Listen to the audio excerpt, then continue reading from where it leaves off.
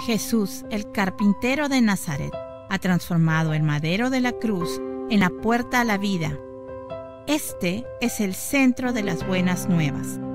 La cruz tiene el poder de cambiarnos de menos a más, de negativo a positivo.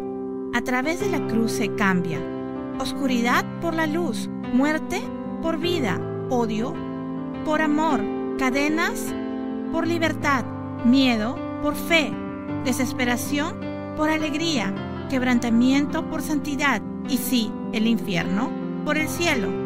Esto es lo que me pasó y te pasará a ti también. ¿Cómo? Jesús dijo, pide y se te dará.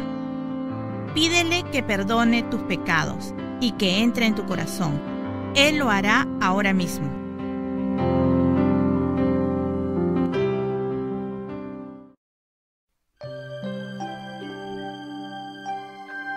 Como un árbol sin tierra no puede crecer, un cristiano sin una iglesia cristiana tampoco puede crecer en fe.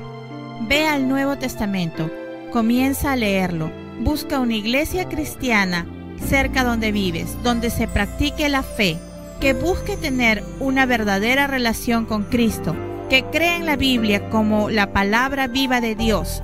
Si quieres más información, por favor revisa nuestra página web www.wdlm.at o envíanos un correo electrónico a contact@wdlm.at. Estaremos felices de ayudarte.